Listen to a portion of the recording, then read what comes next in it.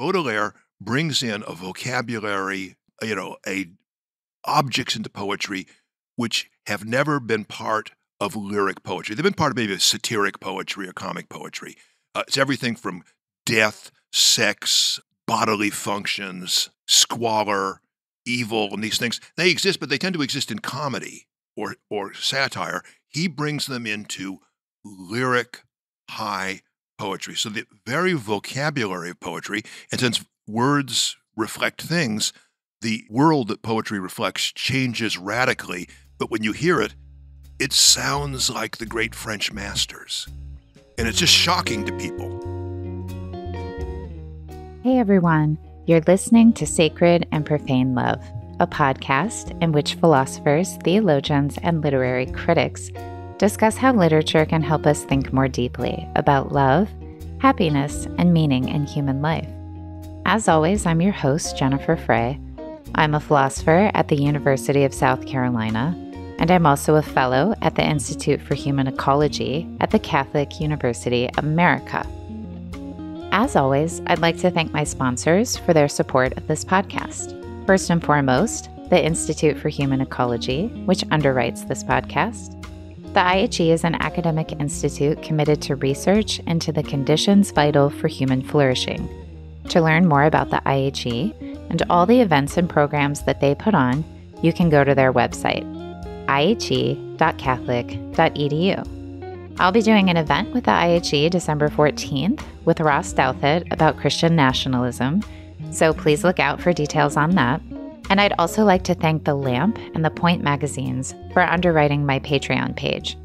If you enjoy this podcast, please consider becoming a monthly patron.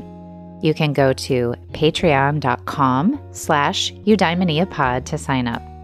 As a $10 monthly patron, for example, you can get a free digital subscription to either The Lamp or The Point magazines.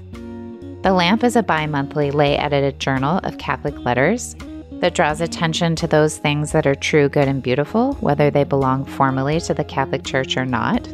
To read some of their content, please go to thelampmagazine.com.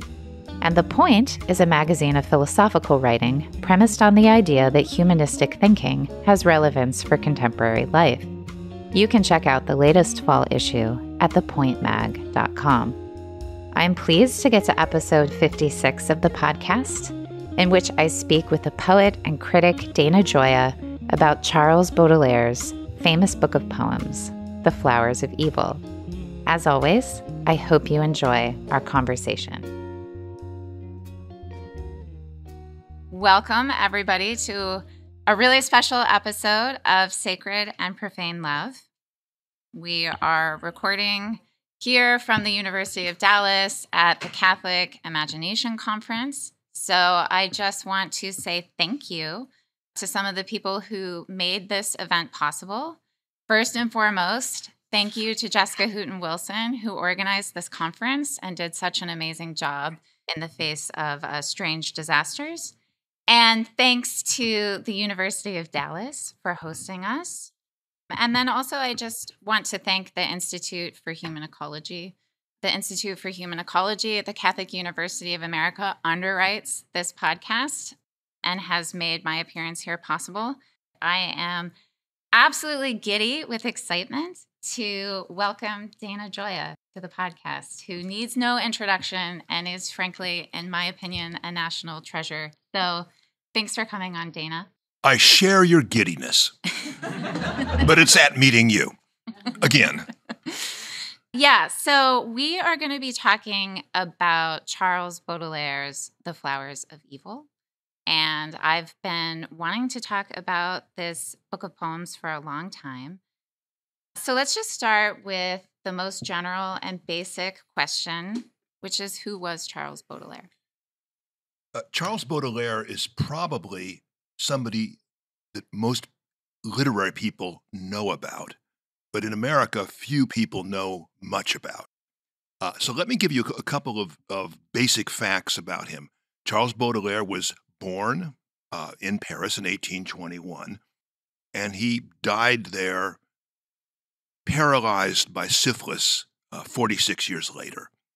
He was probably one of the two most influential poets in the world, for at least the Western world, in the late 19th century. The other being a different kind of influence, which is Walt Whitman. I, you know, what I mean by that is those were the two poets who thousands of other poets and artists found most useful for imagining themselves. Of the two, though I am an American, I tend to prefer Baudelaire for personal aesthetic reasons. What Baudelaire did, I think, was six or seven things of immense importance in the history of art. And the weirdness of Baudelaire's career is if you, okay, Whitman, you know, you could publish Whitman in volume after volume after volume, an immensely prolific poet. All of Baudelaire's poetry fits into this book, which also has a lot of prose in it, and it has it in two languages. He, for all uh, purposes, wrote one book, The Flowers of Evil. Now, he revised that book as it went on for reasons that I'll explain to you. Baudelaire is extremely interesting for Catholics. You know, he is one of the most important and certainly most troubling Catholic writers in history. Both philosophers and theologians, especially in Europe uh, more than America, have been fascinated by Baudelaire for reasons that will become apparent when we talk about him. Interestingly, Baudelaire's father was a Catholic priest. Not something you can you can say about many great poets. Uh, his father had been essentially an aristocratic chaplain before the revolution he was an extraordinarily cultured man. He was in aristocratic houses. He taught music. He taught painting. Everyone, you know, found uh, Père Baudelaire charming. The revolution came, and he was given, you know, really one of, of two choices, which is to leave the priesthood or to either suffer execution or transportation to a malarial French colony you know, as you know, the French were determined to eradicate all aspects of Catholicism, you know, from the new Republique. He went into secular life. He married, I think it was one of his ex students. He got a very, he knew all the, aristocrats and, you know, plus de change, plus de, uh, you know, même chose. You know, 10 years later, they were all in power. They were running the old bureaucracies. He became rather wealthy and he had a child. He had a beautiful house in the medieval section of Paris. Then his wife died, and he then married a very respectable, you know, woman without fortune. She was much, much younger than he was. And I think for her, it was like her one way, you know, out of her life as a spinster. And they got married and they had a second child many years after the first, who was Charles Baudelaire. His father died, and in a weird way, Baudelaire had this wonderful childhood for a few years. He loved his father, but you know he had his mother to himself. If you you know if you read Baudelaire's life, you cannot help but cyclically reach for copies of Sigmund Freud. And then she married. She met this immensely powerful, successful, dashing military officer who rose to the very highest levels of the French military and French politics, who was eventually General Aupick. A Freudian drama emerged where he hated his father and fought with him for his mother. And from that moment on, you know, he essentially began a descent an emotional, a psychological descent that only ended in his death at 46. When he reached majority, he inherited a fortune that his father had left him. I mean, not an immense fortune, but enough, if he'd been uh, a good manager, to live on the rest of his life. Baudelaire was many things, but he was not a good manager of anything. He got a wonderful apartment in Paris. He furnished it with overpriced antiques and art, and he, going to the theater, spotted a, this attractive woman, you know, from the the French colonies. You know, she was probably she was probably half African, you know, half French, and he, she became his mistress.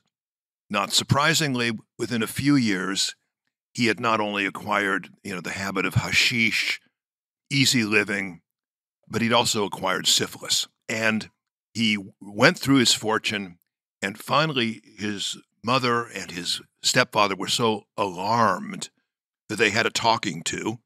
He didn't listen, of course. And then they took a court action to remove the remainder of his fortune and essentially infantilized him for the rest of his life. He was given this meager allowance that, you know, they would assume that would last till, till he was 40. And then they decided that what he really needed, you know, because Aupick is a man's man, he needed to have a sea voyage. So they put him on a boat to India. This was not a successful thing, and, and Baudelaire eventually jumped ship in the Indian Ocean and came back to, to uh, France unannounced and showed up at his home to, to their consternation. And he announced that he wanted a literary career. He didn't want to be a lawyer the way his brother had. And so this is a man with enormous avenues of open, you know, to success in the highest, you know, levels of French society, and he becomes, God help all parents, a bohemian. And he then, you know, starts to scrape by, and this lasts, you know, the rest of his life, ever more in an ever more seedy fashion. He reviews art. He he has the single most important meeting in his life, except for the meeting of his mistress, Jeanne Duval, and that is with, and I think it's a kind of substitute brother because it's this person is about the same age as his older brother, and you'll be familiar with his name. It's as the French say, Edgar Poe. In America, we call him Edgar Allan Poe, who was dead uh, and essentially was in disrepute. When Baudelaire read him, it was like Paul, you know, uh, you know, on the road to Tarsus. Uh, you know, he, he it changed his life. This was the person that was going to guide him. In Baudelaire's collected works, the majority of the volumes are translations of Poe. He translated every scrap, but he didn't only did a few poems because he thought the poems were untranslatable. He begins writing and he publishes a book, Le Fleur du Mal, The Flowers of Evil. Bad Blossoms uh, would be one possible translation. It is a work of such extraordinary originality and genius that there's very few books in the history of poetry that ranks with it. He got a great publisher who did a beautiful edition, and Baudelaire drove everyone crazy by going over the proofs again and again and again, a behavior I would urge upon any writer. And it was published, it was immediately scan, you know, scandalous, and it was published at a particular moment in French history there's a fellow you may have heard of named Gustave Flaubert, and he published a novel you may have heard of called Madame Bovary, Madame Bovary, which had been brought to trial as obscene because it's about a woman having an affair and about what's going on in her head, and it doesn't really pass much moral judgment, uh, you know, on Emma Bovary. And so he was brought to trial, and he was, to the horror of the conservative French Catholics, acquitted.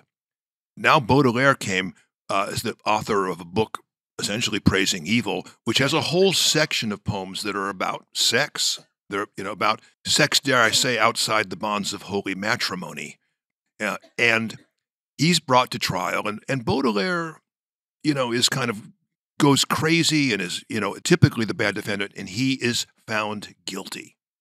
But you know, the General Aupick and his mother and all their aristocratic friends, they don't want to see this poor guy end up in jail. So he is he and his and the uh, publisher are fined, and they they excise, and I mean they literally cut the pages for six poems, which are considered just beyond uh, scandalous. So Baudelaire, who has spent his life to produce a perfect book, it has a mystical number. It has a hundred poems plus one introductory poem.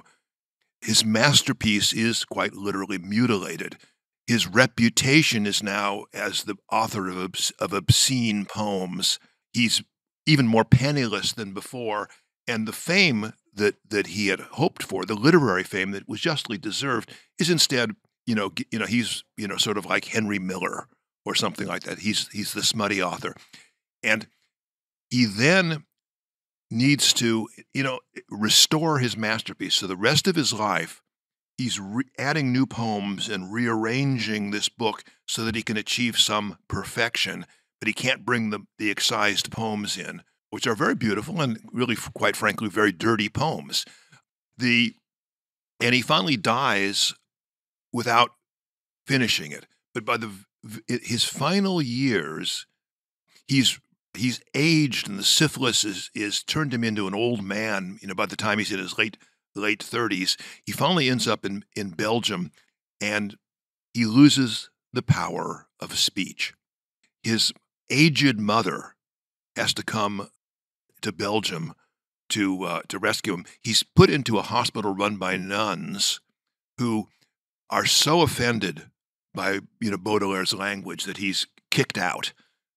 And his mother brings him back to Paris, where he's put into a spa, and with his holding his mother's hand, he dies at 46.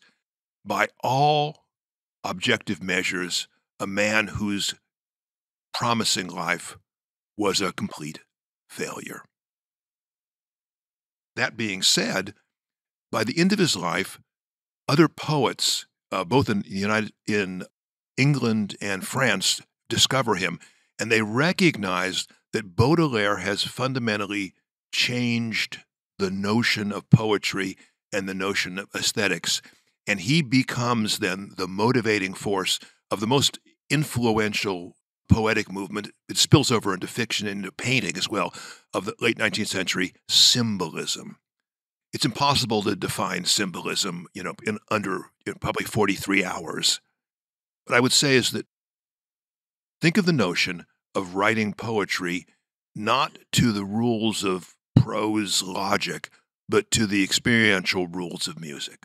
All art aspires to the conditions of music, uh, is one of the phrases that they're, they're using on this.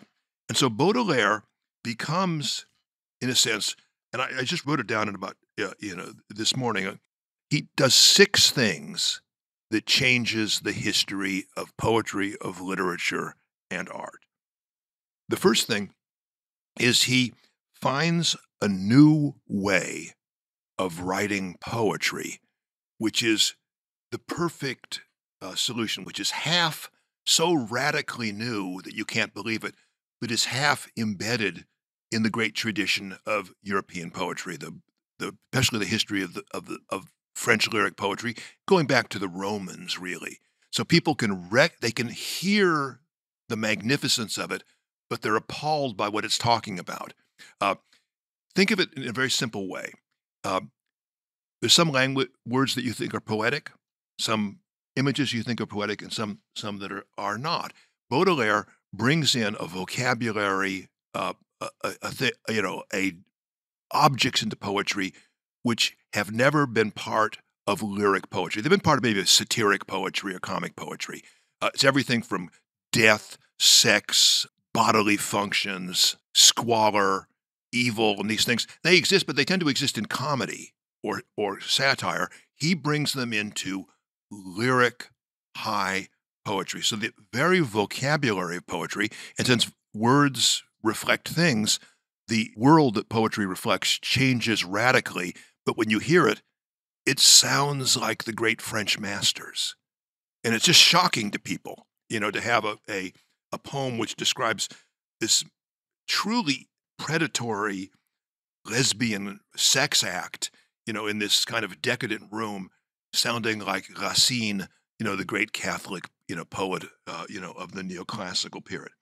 The second thing that Baudelaire creates, and this is so pervasive that you take it for granted right now, even if you know nothing about poetry and you only follow rock music, he creates the image, the idea of the poet maudit, the cursed poet. He pulls this from from Edgar Allan Poe about you know, what a cursed poet is. And this is Jim Morrison, this is rap stars, this is James Dean, this is this is our cultural archetype of the artist. And I will offer it for myself. You know, you know, I'm I'm just too sensitive for this world. Don't you think that? I mean, I'm just too sensitive. And part of it is also I'm so so gifted. And so uh, it, it hurts you. Hey, it hurts me 10 times as much.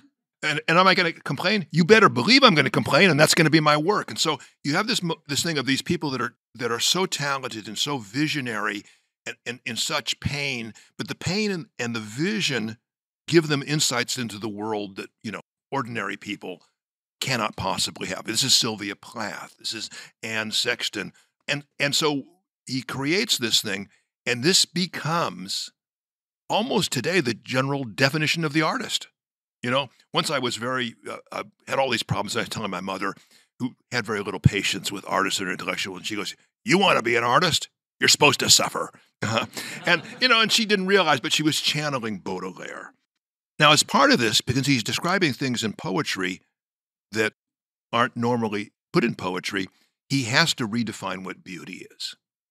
And curiously, his redefinition of beauty, I think, is so deeply Catholic there's no way of avoiding. That's why theologians go there.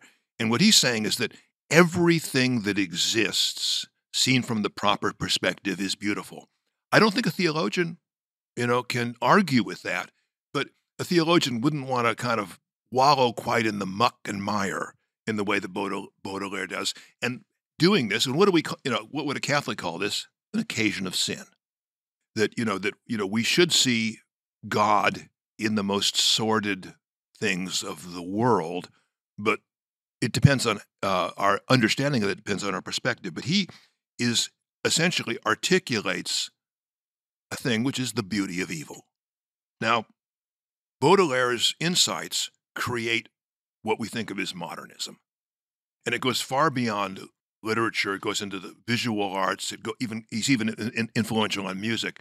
The other template is is Walt Whitman, and Walt Whitman finds a way of essentially tying poetry with prophecy. Poetry, he says, well, you know, we don't believe in God anymore because we're all gods and we all get to write scripture. And so that becomes, you know, one uh, way for the modern artist to do. He doesn't have the technical challenges. Baudelaire demands, you know, absolute technical perfection. So he creates this, and modern poetry begins to come out of this.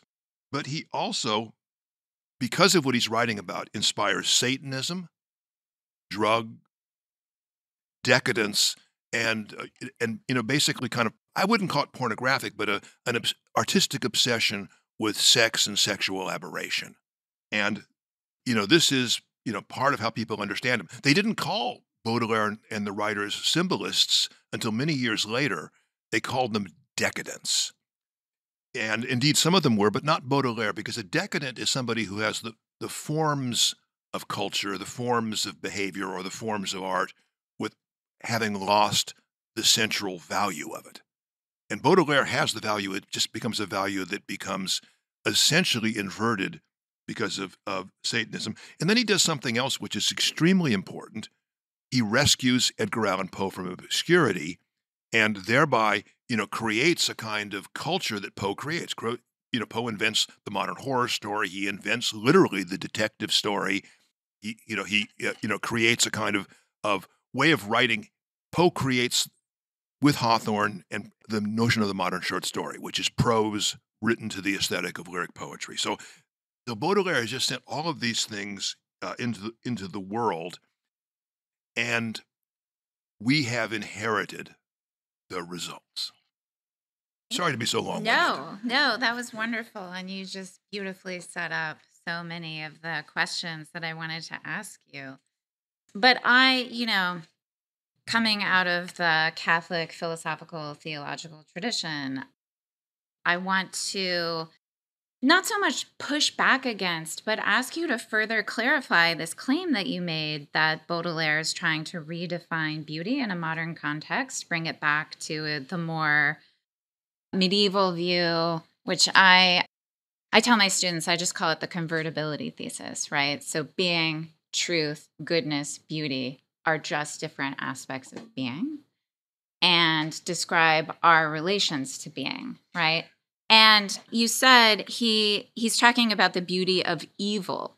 And you know, I'm just I'm just wondering what that what that really means and if and if that really is what the convertibility thesis is is trying to say. So it's you, also you don't like being truth badness beauty. Uh, right. Yeah. Well yeah because and and and it's really i mean it's a metaphysical thesis well, no, right? He, so evil is a privation. It's a lack of what a nature uh, what it pertains to a nature to have. So so evil doesn't have being in its own. Thomas aquinas says any anytime he talks about evil in the disputed questions on evil in either of his summas, he always says evil only exists in the good. It is ontologically and epistemically derivative. Yeah.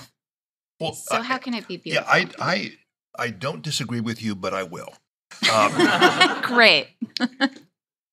here's the question, and you, you don't have to answer it, but maybe you want to answer it. Do you believe in damnation?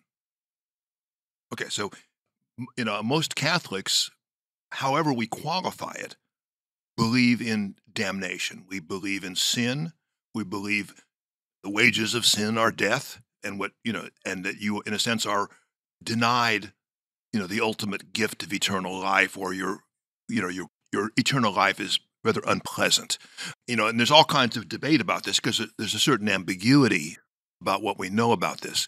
But I think that it's impossible to understand what Baudelaire is doing without understanding damnation in his own notion of damnation.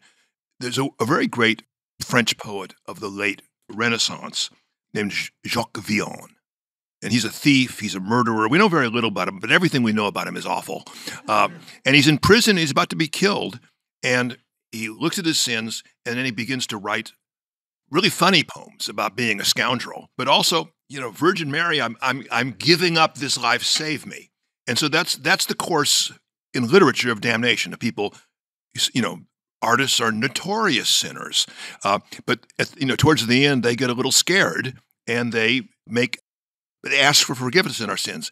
Baudelaire is perhaps, and I'm, I, I, I, you know, I might be challenged. Perhaps the first great artist who decides, I'm damned. I mean, everything I do is going to is going to damn my soul.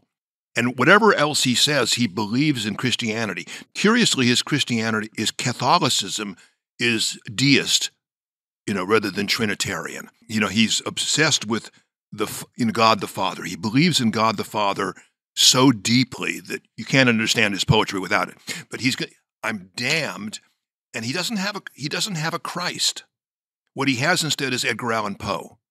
He has the poet maudit that you know I am. What does maudit mean? It means cursed. You know, it, and so he develops this notion, which is that I'm damned. I'm a great poet, and so my subject will be about the experience of damnation. And in fact, there's even uh, you know one of his one of the suppressed poems is you know femme damnée, uh, which is the you know the cursed women, the damned women. These are the this is the lesbian pair. This is a poem which does not appear in French legally until after the after World War II. I mean, that's you know you know that's how effective the, the censorship is, and so he decides to make an art of articulating the experience of damnation, which he nonetheless sees in the context of a divine plan. And so and that I think is theologically his escape clause. That's what theologians, you know, have done, which is to say the experience of the damned, and Dante surely knew this, is no less real than the experience of the blessed. And then in fact it's probably more interesting to write about because there's really one way to salvation, which is through Christ. But, you know, there are a great many roads to hell. And most of you of the audience today, I think, has traveled some of them. Uh, we, but we won't get into that.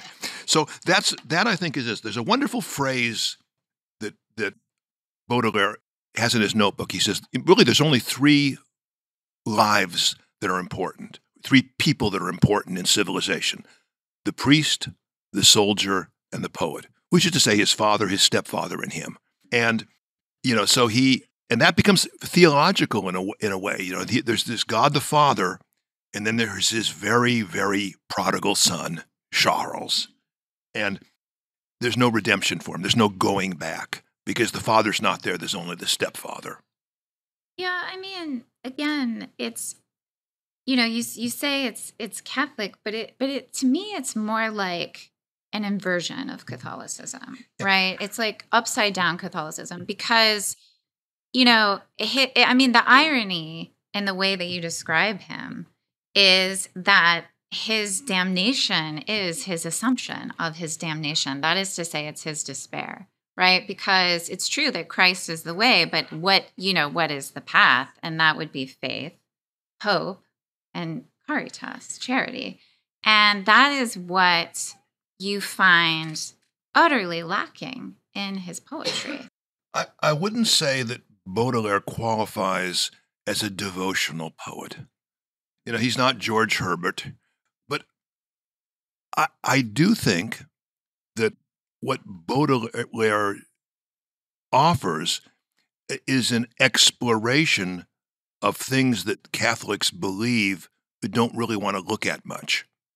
And so, you know, I it, and I think you know he's probably the kind of, of author that in, in an earlier age of Catholicism you would have had to have the permission of your confessor to read. That being said, I think he is an extraordinarily moving and illuminating poet. Now, you're absolutely right about the inversion. Satanism, whether you're talking about a satanic mass or, or, or you know, you know, basically demonology, is always an inversion of the divine. And you see that, you know, in their rituals. And there's a very famous phrase, Diabolus simia Dei. The devil is the ape of Christ, you know, the, of God. And so, and so what you see in in Baudelaire is this fact, well, I am I'm cut off from grace, but I I understand the grace. I understand that God is there. I understand that there is a paradisial realm of existence and I'm cut off from it. Now, he would be the first to admit that he's cut off from it because of the stuff he does. Because he's, you know, he's, I don't know of a single vice that that Baudelaire did not have. I mean, it was available in 19th century France. He drank, he smoked, he did opium, he smoked hash. You know, he uh, he had illicit sexual relations. He was always high or low on something. I mean, he drank such enormous quantities of, of, of liquor. But what he's doing is saying that somehow, I think within this realm of damnation, he's doing div- what he sees as divine work. He's illuminating it. And it gets into the idea, and this is an idea which is, I think, very rightly uncomfortable for a Catholic. He's getting into the aestheticism that comes out of Poe. Poe is one of the greatest American authors, one of the most interesting thinkers, but there's something basically fuzzy about Edgar Allan Poe's theology. He's he is nominally a Christian, but the, you know Christianity has no real meaning for Poe's work. And what Poe sees is that we're in this mortal world which is full of you know, and, and Poe himself had a life of unremitting suffering he was very, nonetheless, productive and creative. That somehow what poetry does is to give you a glimpse of this empyrean, this celestial reign. And he talks about it's, it's the splendors after death. Gives us glimpses of this because it elevates our consciousness. Because once again, think of the poet maudit. In my antennae are bigger than yours. You know, I can t- take perceptions that, that are not available to other people. And that Poe elevates us. And indeed, you know, Poe does. It was many and many a year ago in a kingdom by the sea that a maiden there lived, whom you may know by the name of Annabel Lee. And that maiden she lived with no other thought than to love and be loved by me. I was a child and she was a child in that kingdom by the sea, and we loved with a love that was more than a love. I and my Annabel Lee, a love that the winged seraphs of heaven coveted her and me.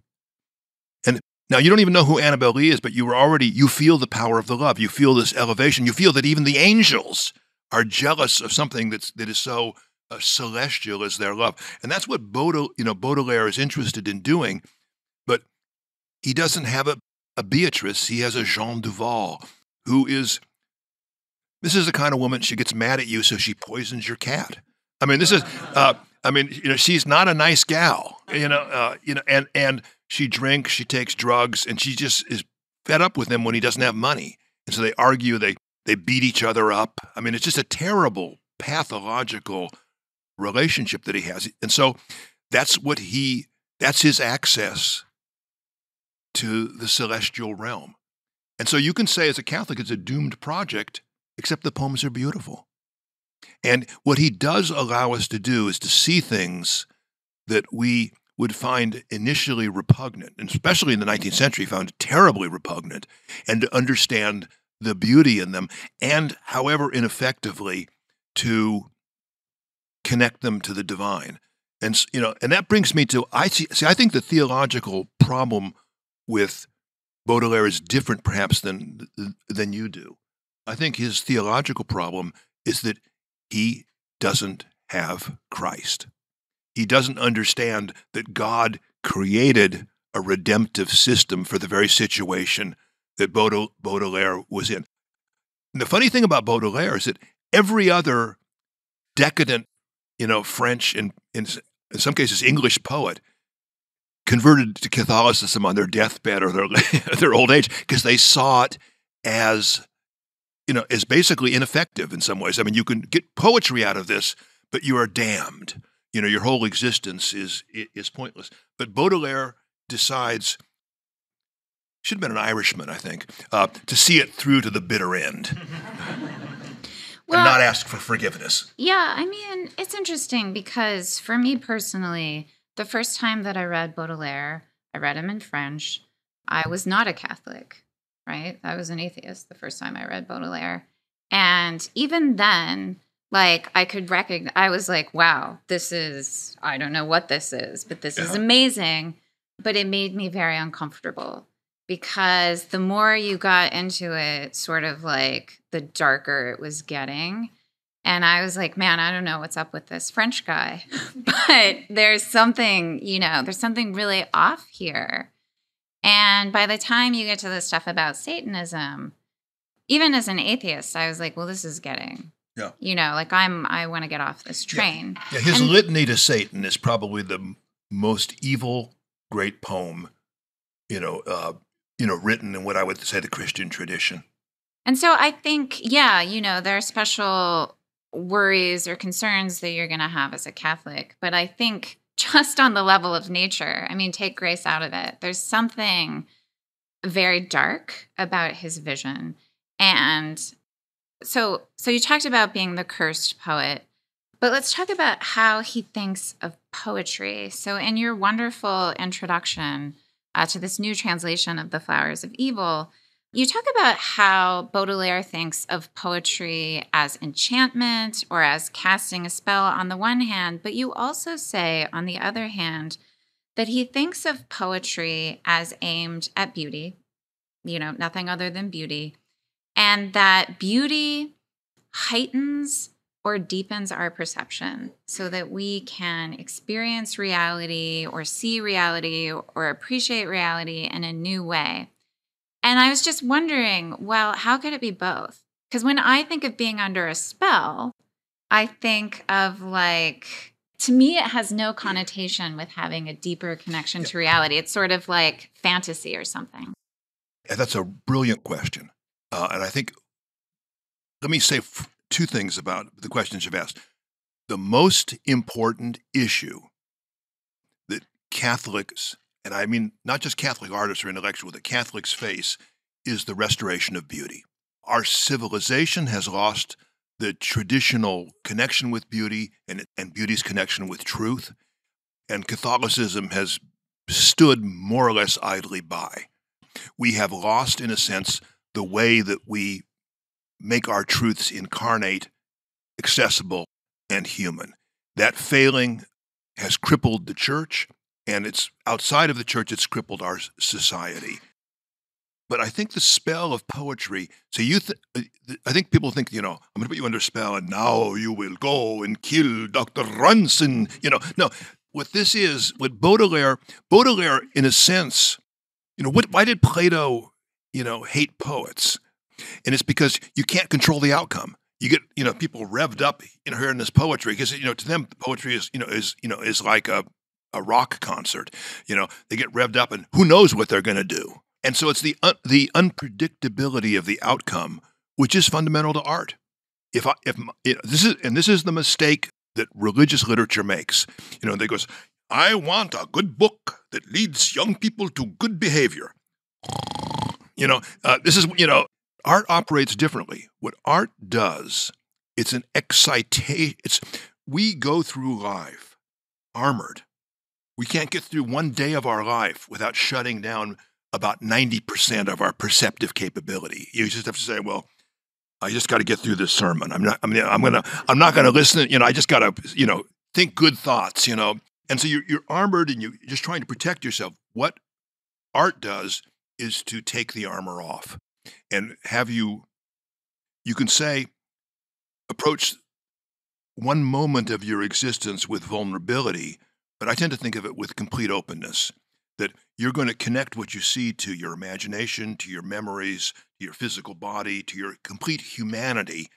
And that is an experience in which you cannot predict the outcome. Because if somebody's trying to control you with, you know, with Soviet realism, you know, uh, this, that, or the other, you don't want to go there because you're actually, you know, you're kind of seeing reality and you don't, don't want to be, you know, herded towards one conclusion.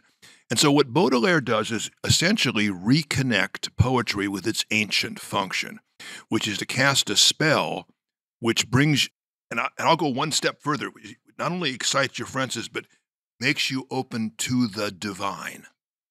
Now, he, you could say that he makes you open th- through the divine, you know, from the back door, you know, from you know the or the exit, you know, you know, away from the divine. But you're getting a glimpse of this, and so he has this tremendous power. And the beauty of Baudelaire is that you know, he, he does not, and this is so different from all the writers who came before him, in, especially in French, he does not want to control the outcome.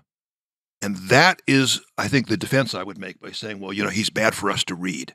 Because what he's doing is, you know, he's showing us the beauty and evil but he's also showing us the consequences of evil. There's a very famous poem here. We should probably mention that this book we're talking about is The Flowers of Evil. It's translated by Aaron Poochigian, and, it was published by Liveright. And it's it's a really superb new translation of Baudelaire. And Poochigian is a one of the you know is a really very fine poet uh, in his own right. So, you know, I think it is that musical, magical you could say ultimately mystical function of poetry, which is originally a sacred art. poetry is created to connect humanity with the divine, to create rituals, you know, that tell us the stories of the gods and tell us the stories of things. And and Baudelaire does that, but he subverts it. And I think that Baudelaire himself understood this. He made several statements about that his work is moral because it sh- the shows you the consequences of sin.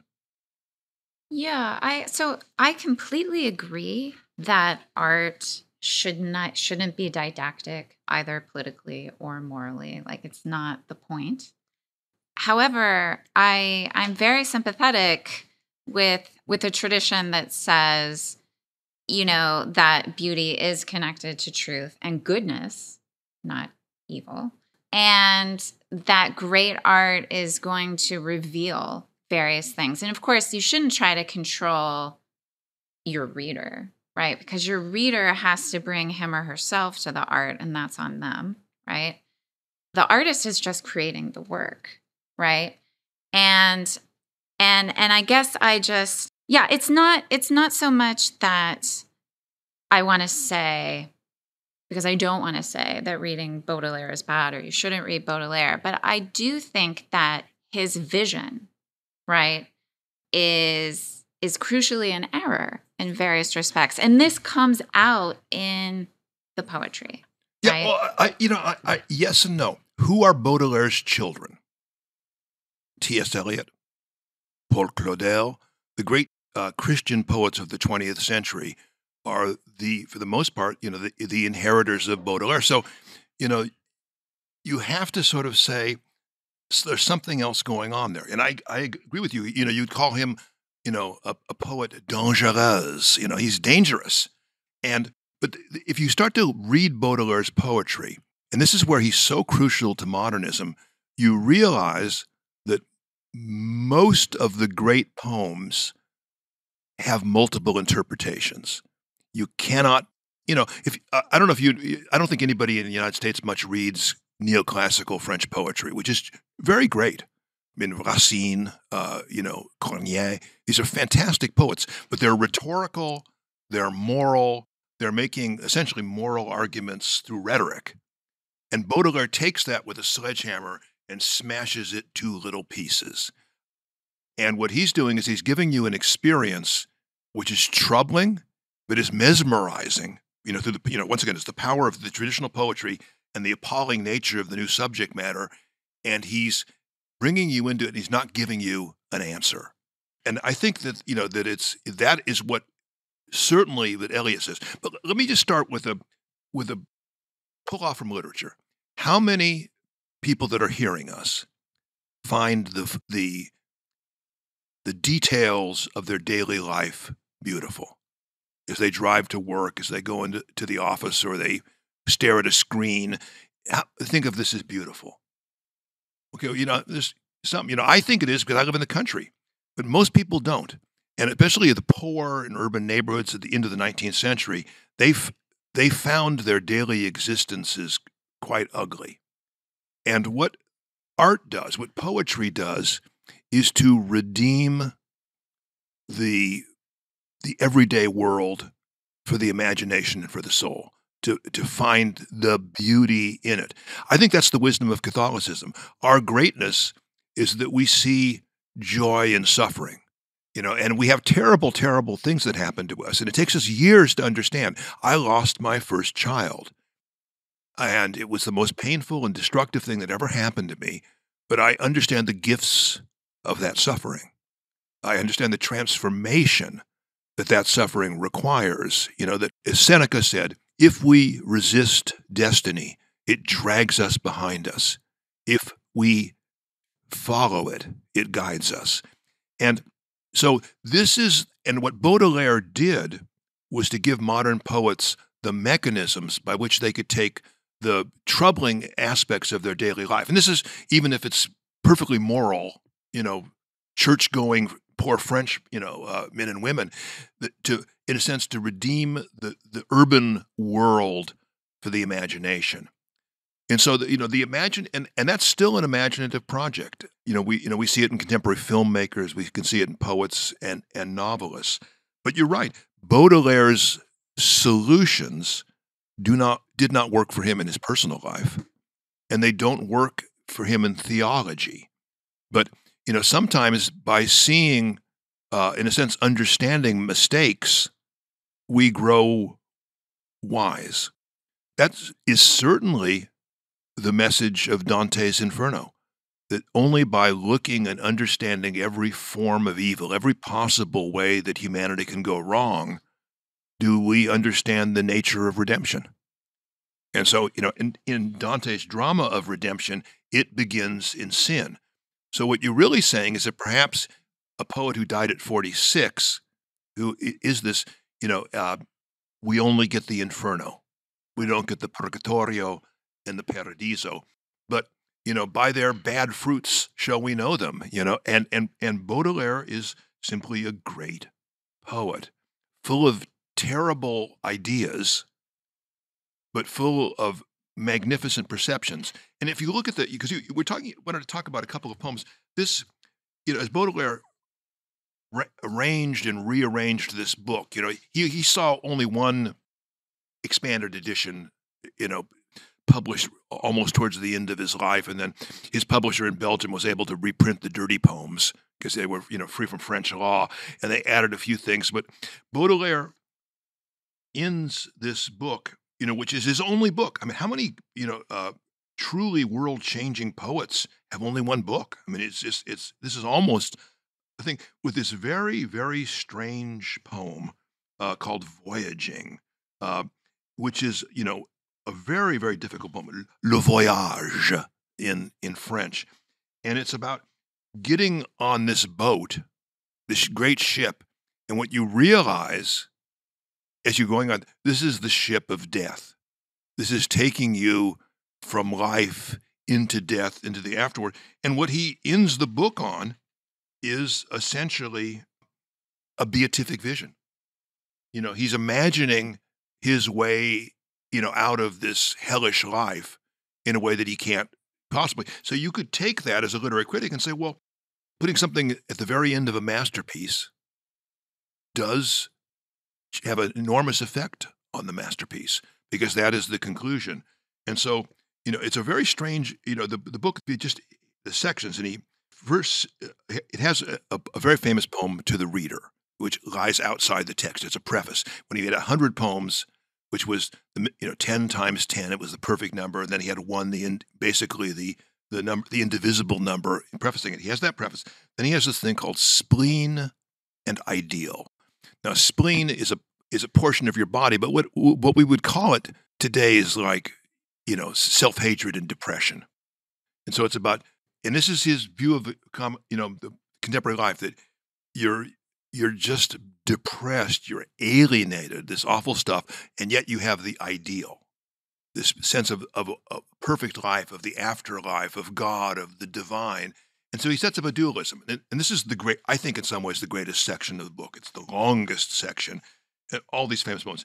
Then he has this, the set, you know, he creates in a later edition the second thing called Parisian scenes, you know, where he just describes everyday urban life in Paris. This is so influential in contemporary literature because it gives poets the language by which they then describe urban existence. Then he has the worst section of the book, which is called wine, uh, which is just, you know, which is like, I think he was, you know, probably inebriated when he wrote most of these things.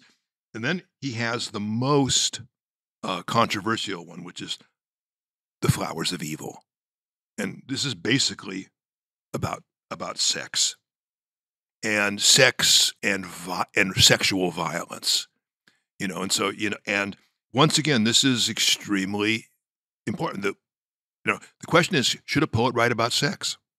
And I think you know, poets throughout the ages have said, yeah, you know, can't talk about that. There's not much left, is there? You know that this is an entry point. It's you know it's, it's this this carnal ecstasy. Yes, these are the poems that were for the most part excised.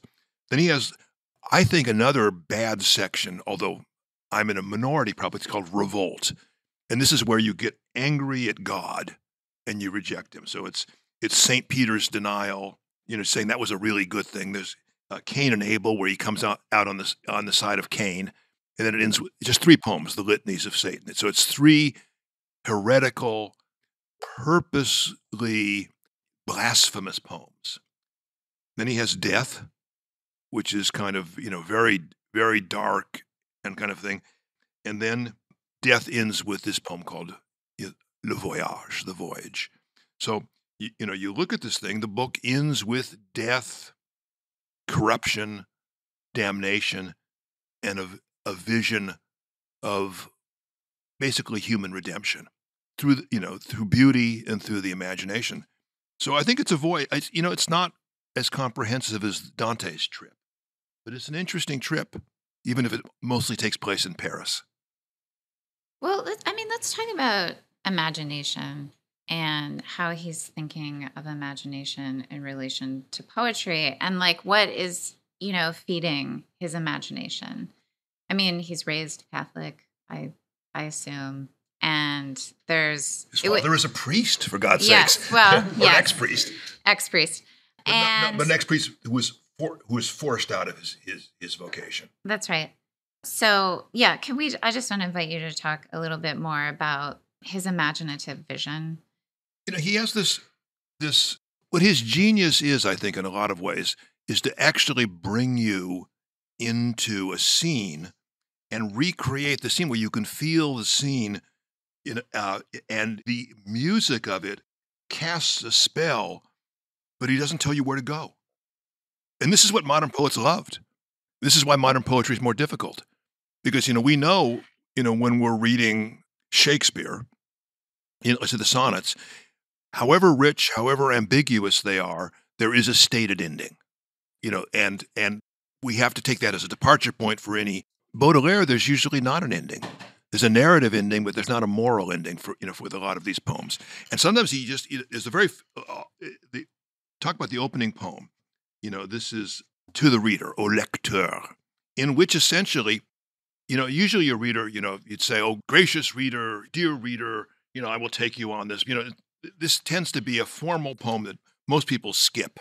Think of Catullus, you know, to whom do I dedicate this small volume of my poems? To you, Lepidus, who in, you know, four, I don't I forget how many number, in four weighty volumes, you know, examine the history of Rome, and I hope that my work pleases you.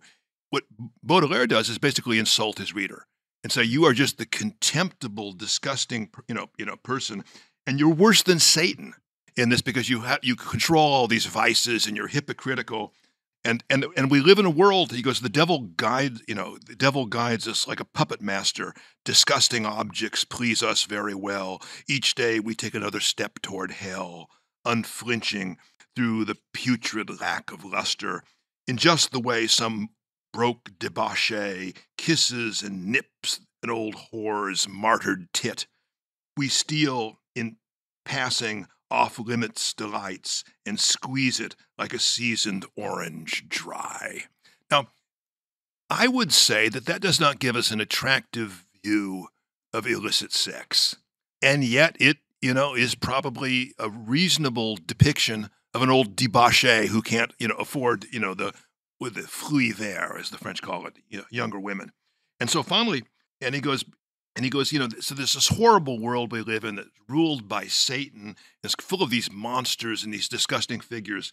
But there's one thing worse than anything else. There, among all the jackals, panthers, mutts, monkeys, and vultures, scorpions and snakes, those howling, yelping, grunting flocks and packs, the infamous menagerie of our rots. There's one most ugly, false, and dirty birth Though hardly moving, uttering no grand sound, he gladly makes a shambles of this land and yawning swallows the entire earth. So, what's the worst thing in the world? What's the greatest evil in the whole world? What's the thing that really corrupts everyone? And it's it's very interesting. It's because it's what the, it's the same thing that the existentialists come up with because they've read Baudelaire. Boredom. You know, boredom, moist eyed, he dreams while pulling on a hookah pipe of guillotine cleft necks. This is modern America. This is somebody watching a screen. They're, it's a drug. They like to see violence. They like to see sex. They indulge in it thing. And it's just a way of curing their boredom. You, reader, know this tender freak of freaks.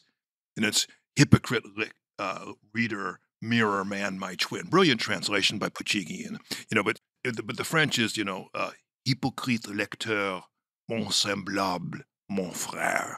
You hypocritical reader, you know, like you think you're, you're as bad as anybody else, and you're just like me. You're my brother. So, I mean, no book in history ever had an introduction like that. And he doesn't disappoint you for there. So it's about recognition of our own corruption. And what, what Baudelaire's other insight is, and you, you can say, well, uh, you know, as Catholics, this is exactly what we find. This is why the the the little way of Saint Teresa is so important. Is that we, in a sense, we find meaning in the dailiness of our lives. We find meaning in the small things. But Baudelaire is actually on is was the prophet of what's really happened in our age. People are bored and they fill it with all the vices and the, uh, of, of dark fantasy. And, and that's what he's really doing because he does not have redemption. So he's got uh, an increasingly intolerable existence that you have to create. This is a phrase that he creates artificial paradises, drugs, liquor, sex, and you know things like that. They give you temporary res- respite from the boredom that crushes down on your life of a meaningless urban existence. Now you can say like that's not me, and I'm Mr. Positive. I'm never bored. And some of us, I think that's probably quite true of. But the great mass of humanity, a hundred plus years later, is under the situation that Baudelaire was the very first great artist to describe. And however uncomfortable we are with his heritage, with all the downside, with the tragedy of his own life, he was the prophet of the internet age, uh, of the age of prescription drugs, of all of these things like that. And you know, like it or not, we have to deal with his with the downside of his legacy as well as its magnificence. Yeah, I mean, you talked about Baudelaire's children, and, and you mentioned poets like Claudel, but I mean, I think one of Baudelaire's children is Albert Camus. It really reminds me so much of Camus, you know, when he's when he's talking about this kind of longing for transcendence and this idea that well, it's never going to be met. That's Camus, yep. right? That's Camus' starting point. That's Camus' Sisyphus, right? I mean, Camus' Sisyphus in a way is damned, but what Camus says that's so remarkable is that we have to imagine Sisyphus happy, yep. right?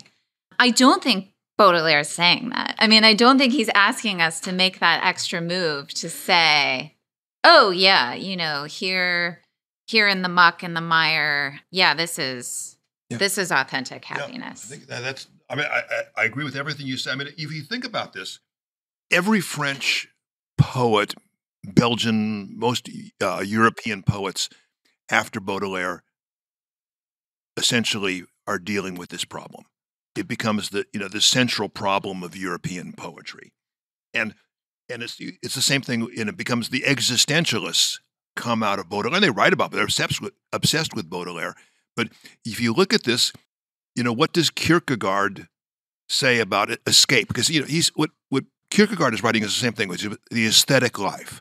If you're doing a life that's about pleasure, about you know physical existence, about beauty, how do you find meaning?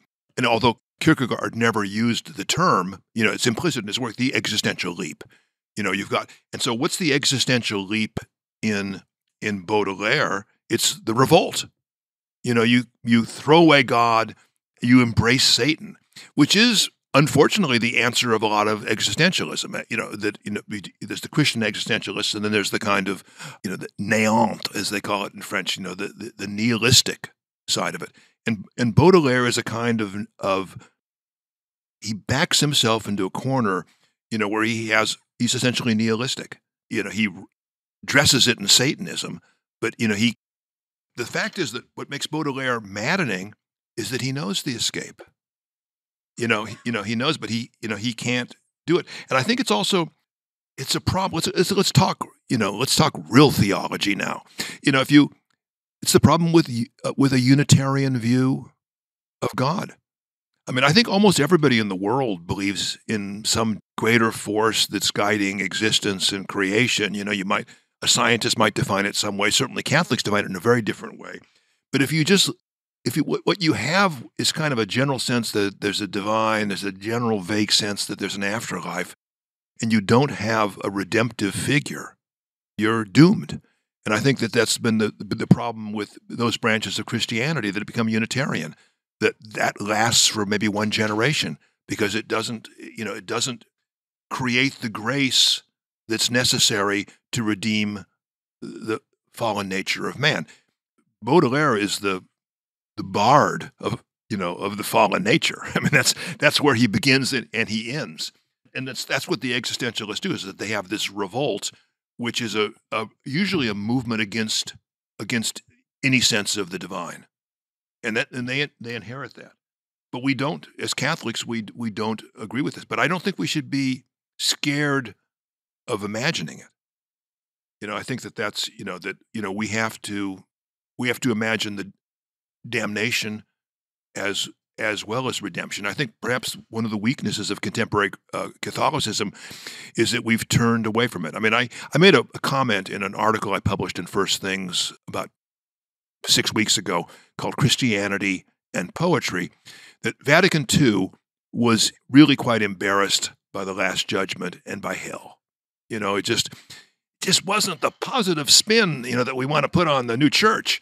And so they one of the, th- the things that they they basically dropped the Dies Irae, you know, one of the greatest single poems in the Christian tradition, not just the Catholic tradition, one of the masterpieces, Dies irae, dies illa, solvet seclum in favilla, teste David cum Sibylla, day of wrath, that terrible day when heaven and earth shall pass away, as Sibyl and the prophets say. And it creates this vision of what the Last Judgment is about the, the essentially that even the just will be insecure, which is that seems to me the basic, you know, this is like one of the most virtuous women in the world. I'm one of the greatest sinners, but we're more or less equal by God's because we're both, you know, we're both imperfect and both of us equally need redemption. And that's, you know, I think that's the inside of that poem. So they banned this. And, you know, 50 years later, what's the general, the most absorbing thing to the young?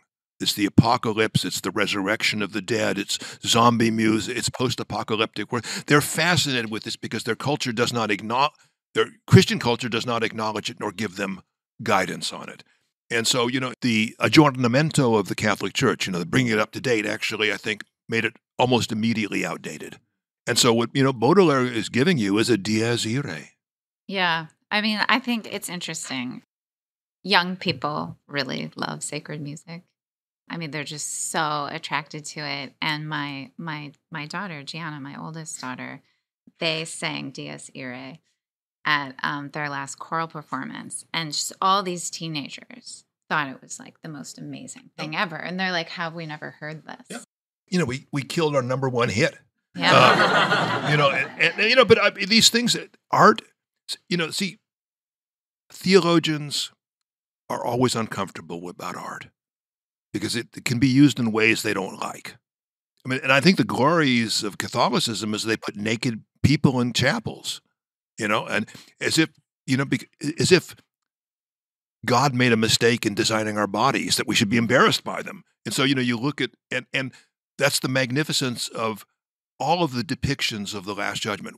The depictions of the Last Judgment inevitably have sinners stripped naked and and we see the the deformities that sin has given them, and the and the blessed are robed in radiant garments, and I think that there's a there's a kind of physical you know way that that we feel this you know and and you see it in Michelangelo's last judgment but you see it in all last last judgments and every religion has the gods above and the gods below. It has the gods of light and the gods of darkness. You know, Christianity, and, uh, you know, we have, in a sense, been given the true gods and the false gods, you know, the power of light and the dangers of darkness. And if we sort of say, well, going to talk about the dark stuff because, you know, it's going to upset you or it's going to be dangerous, and then you throw a kid out into the world, they're lost because, you know, right away they're going to be met both by the monster boredom and by all of the corrupting pleasures of the world. All pleasures are good in the proper context.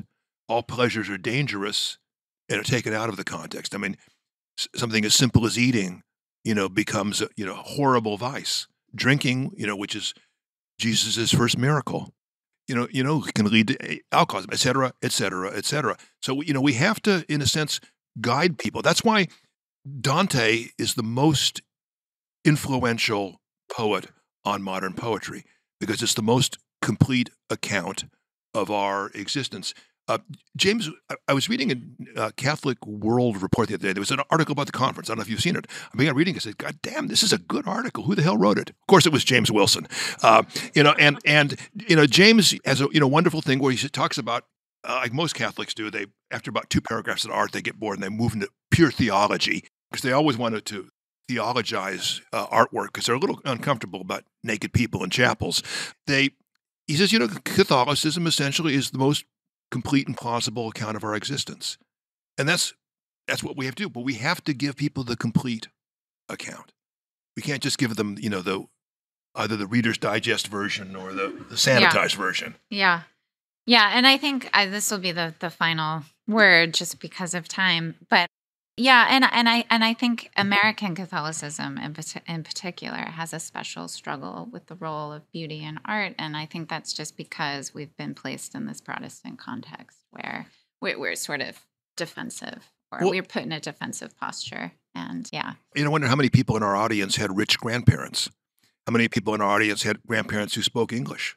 You know, and you know what American Catholicism is are some of the poorest people in the world dumped into a Protestant nation that hated them and constantly tried to make Catholicism illegal.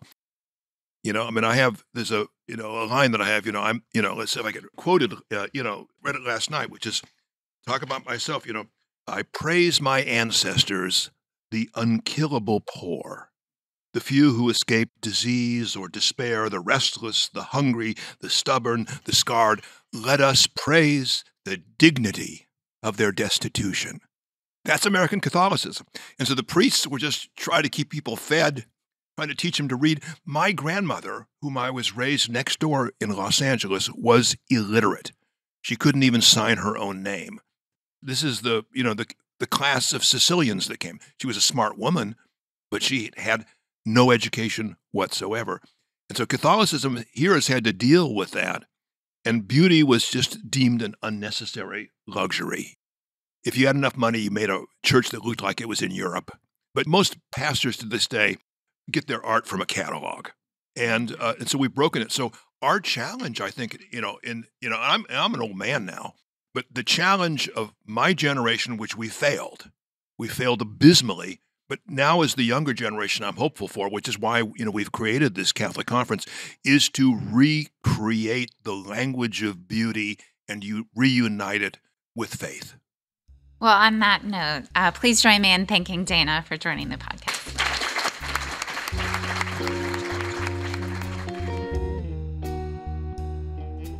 You have been listening to Sacred and Profane Love, a philosophy, theology, and literature podcast that is generously underwritten by the Institute for Human Ecology at the Catholic University of America and produced by Catholics for Hire, a group of young Catholic digital content freelancers.